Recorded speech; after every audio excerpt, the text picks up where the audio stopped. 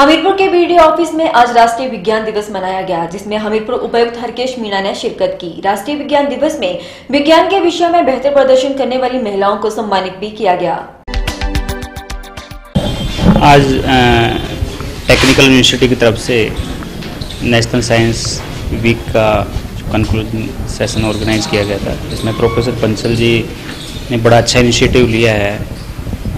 जो यहाँ का हमारे टेक्निकल सिटी वाइस चांसलर है और इस नेशनल वीक की जो थीम थी, वो वुमेंस इन साइंस तो इसमें हमारे डिस्ट्रिक्ट में जितने भी जो मैन है, जो साइंस में बड़ा अच्छा काम किया है, उनको रिकोगनाइज करने के लिए फेलिसिटेट किया गया और ये डिपार्टमेंट ऑफ़ फिजिक्स की तरफ़ से ये इवेंट ऑर्गेनाइज किया गया था।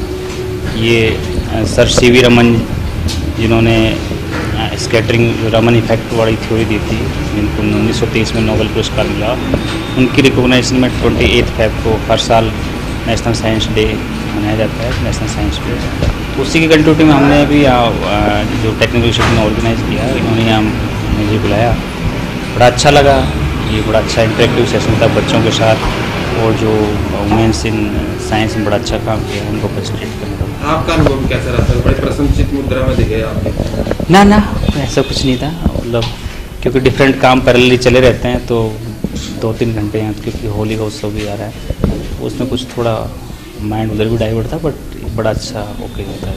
मैं धन्यवाद देना चाहूँगा यहाँ honourable vice chancellor professor Bansal ji को इतना चाहिए थैंक यू जी आज आ, हमारा जो साइंस वीक यहाँ पर चल रहा था। उसका वैलिडिक्टी का आज हमने यहाँ पर रखा है। Department of physics Himachal Pradesh तकनीकी विश्वविद्यालय के द्वारा ये जो साइंस वीक का ऑर्गेनाइज किया गया। क्योंकि हर साल साइंस डे का कोई ना कोई थीम रहता है। इस बार का थीम वुमेन इन साइंस ये थीम था।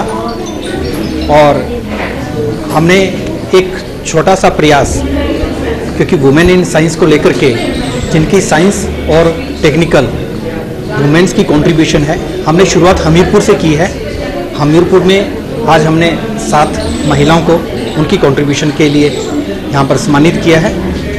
और हमने एक और निर्णय लिया है कि वुमेंस स्टडी सेंटर हमारे विश्वविद्यालय में बनेगा और एक हम सर्वे करवाएँगे और वो सर्वे में कुछ डॉक्यूमेंट्रीज हम इनवाइट करेंगे। जो कि महिला जो बेस्ट एंटरप्रेन्योरल जिन्होंने यहाँ पर काम किया है हिमाचल को लेकर के, हिमाचल में समाज को लेकर के जो उनका योगदान है, उनकी डॉक्यूमेंट्रीज को हम मंगवाएँगे और एक कमेटी में कॉन्स्टिट्यूट करूँगा और उस कमेटी के द्वारा दो महिलाएँ जो हम चयनित करेंगे और आठ मार्च को, अगले साल माननीय मुख्यमंत्री जी के द्वारा उन महिलाओं को हम सम्मानित करवाएँगे। वक्त तो चला एक छोटे से ब्रेक का, आइए मिलते हैं ब्रेक के बाद।